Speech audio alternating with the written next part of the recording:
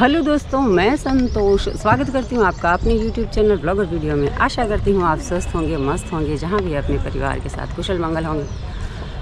हम खड़े हैं इतमामुद्दौला के मकबरे पे। बहुत ही शानदार मकबरा। पीछे देखें आप। मिनी ताज भी कहते हैं इसको। ताज के तर्ज पे इसको बनाया गया है। दिख रहा है आपको? पूरा ताज की तरह ही है है ना? इसके भी चार ऐसे गुंबद है। पूरा मार्बल से इसको बनाया गया है। और फिर चारों तरफ़ इसके ऐसा बाग बना है। इस मकबरे का निर्माण नूर जहाँ ने अपने पिता गयासुद्दीन की याद में बनाया था।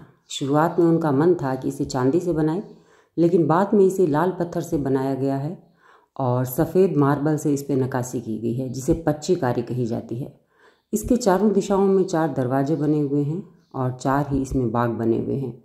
बीच में सफ़ेद संगमरमर से बना हुआ ये ताज की तरह, मिनी ताज है। और ताजमहल को इसके बाद बनाया गया था।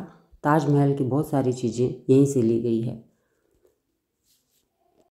इस मकबरे की सबसे खूबसूरत बात इसकी पचिकारी है। इसकी जो दीवारें हैं, इन पर मार्बल के अलग अलग कलर के जो टुकड़े हैं, उनको जोड़कर डिज़ाइन बनाई गई है। मार्बल को काटा गया है। उसकी जगह दूसरा मार्बल रखकर बहुत सुंदर डिज़ाइन बनाई है, जिसे पचिकारी कहते हैं। और इसके जो रोशनदान है, वो भी बहुत खूबसूरत है।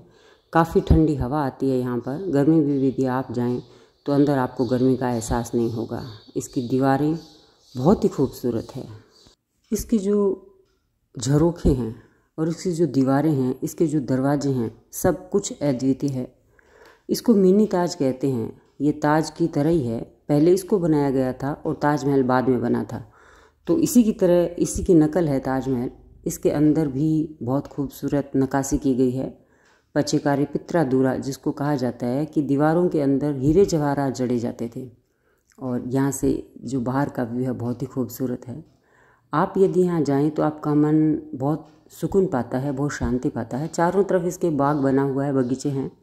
चार बाग जिसको कहते हैं, यानी चारों दिशाओं में चार अलग अलग टुकड़े किए हुए हैं, एक ही बाग के। और बीच में ये मकबरा है, सफ़ेद संगमरमर का। तो ताज से किसी भी मायने में कम नहीं है, यद्यपि ये छोटा है, लेकिन ताज की बराबरी करने वाला है, ताज से समानता रखने वाला है। कुछ कुछ चीज़ें इसकी ऐसी है जो ताज में भी नहीं मिलेगी, आपको दुर्लभ है।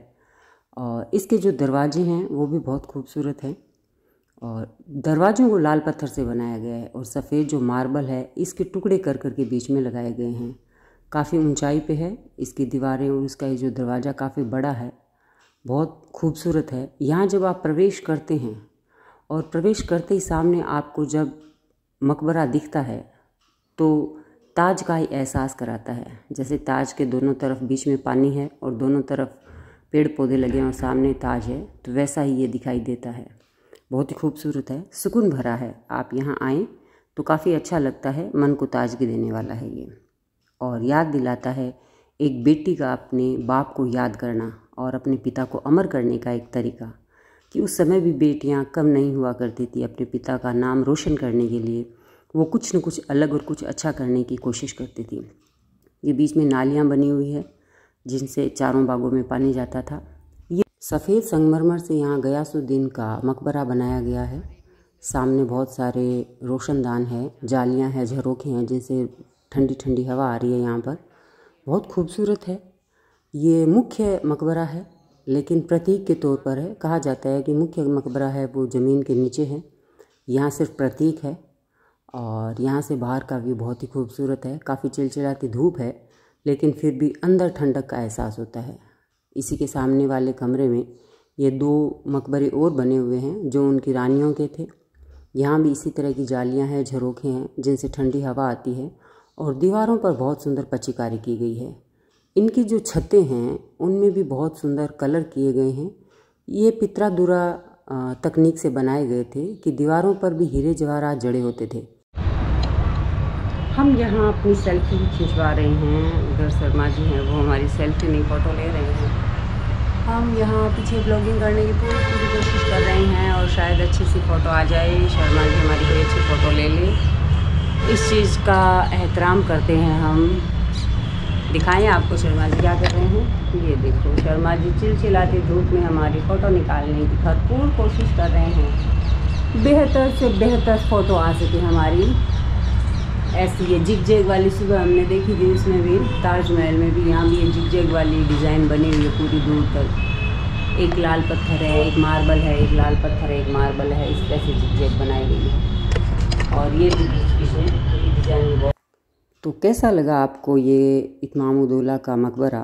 इतमामुद्दौला गयासुद्दीन की उपाधि थी और उनकी बेटी ने अपने पिता की याद में बहुत सुंदर मकबरा बनाया।